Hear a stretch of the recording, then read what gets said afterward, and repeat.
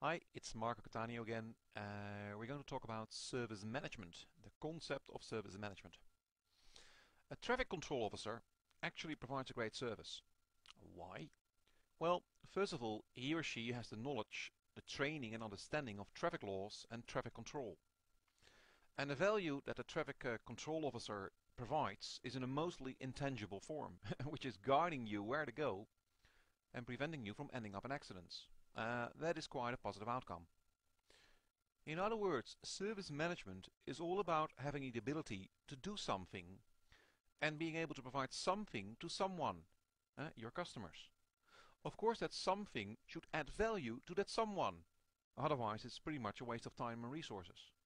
So putting a traffic control, for example, putting a traffic control officer in the middle of a desert without any traffic seems pointless. Again, the service will be extremely short-lived.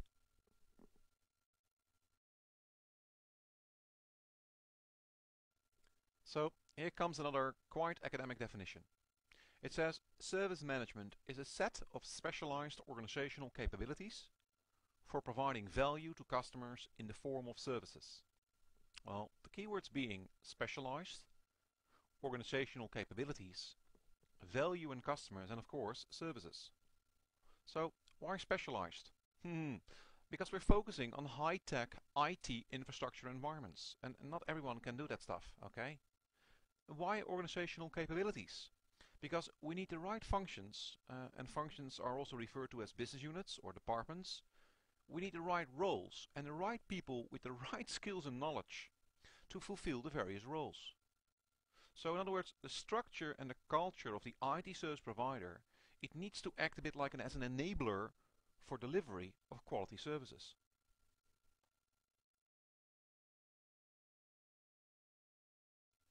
So here's another take on service management uh, or the management of services.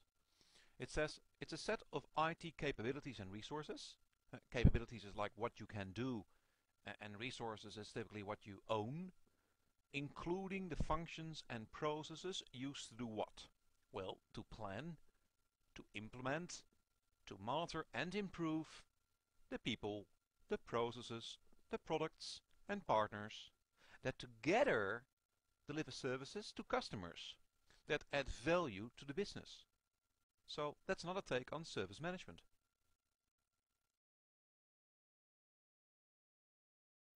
Okay, well personally I like to see IT service management as a big black box. You've got customer requirements coming in and quality services being delivered to your customers. What happens in that box? Well, lots of stuff like recording incidents, uh, dealing with problems, managing changes, uh, measuring availability, uh, measuring capacity, um, managing the security of your environment. It's like all the stuff that happens in IT. Now of course all the stuff that happens in IT also needs to be managed. So that's why you've got like the management, the control, the governance, you've got your quality assurance like performing audits and also like continuous improvement. Now whatever you do today, you can do it a little bit better tomorrow. So that's that's roughly what the model of like IT service management as a black box looks like. Okay, so just imagine service management, everything you do within service management is a big black box with like requirements coming in from the customers and in the end you're delivering quality services, reliable, consistent and high quality services to your customers.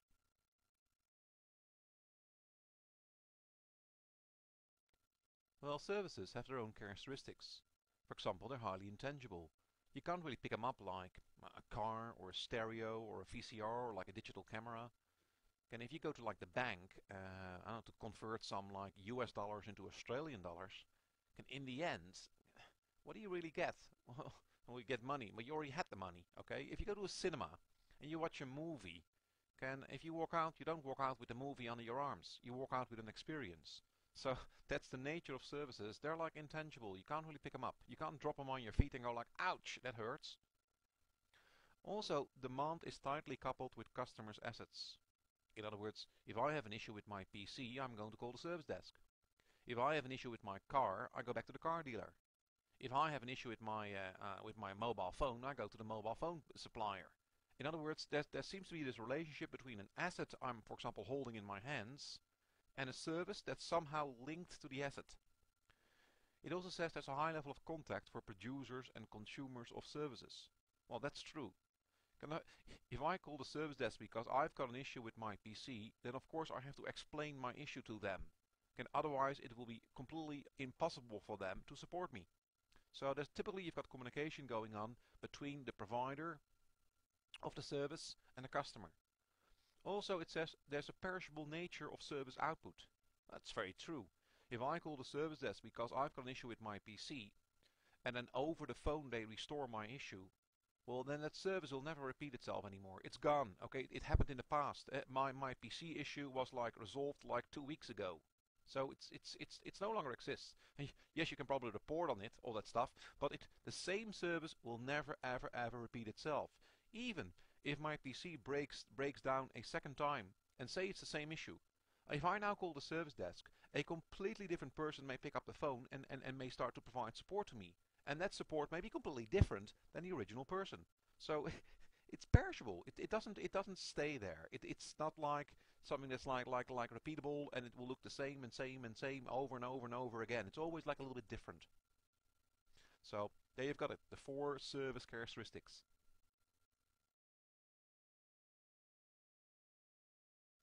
Okay, it's uh, it's time to put some theory into action again.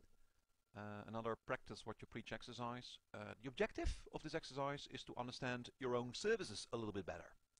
So again the idea is to create a table with two columns. Uh, in the left column I'm going to ask you to list all of your critical services, uh, any you know of.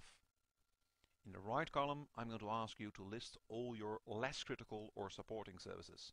I've put some examples on the slide here. Uh, critical services for example an online retail service, and the payment portal service. Uh, if your customers can't make payments, well, you go out of business very, very quickly. And supporting services, uh, payroll service, and like uh, you can probably do, you can probably live without your payroll for at least a month or two months or three months. You can probably pay like people out of pocket uh, rather than electronically. Uh, the fax and copying uh, service uh, in many organizations has been replaced by like more like newer technologies like email or SMS, you name it. So get a bit of a feeling of what type of services you are actually providing uh, to those customers out there.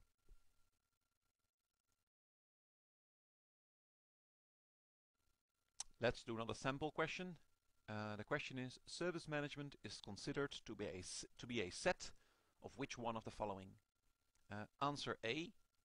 Service management is a set of generic organizational capabilities for providing value to customers in the form of services. Answer B. Uh, service management is a set of specialized organizational capabilities for providing value to customers in the form of services.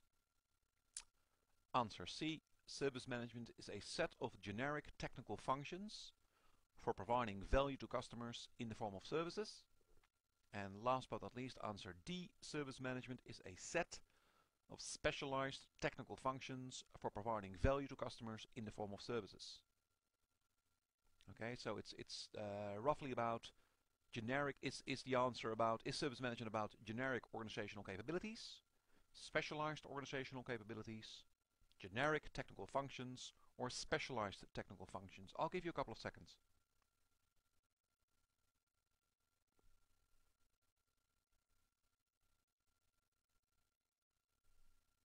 Okay, well hopefully you've uh, picked an answer by now. The answer of course is answer B. Service management is considered to be a set of specialized organizational capabilities for providing value to customers in the form of services.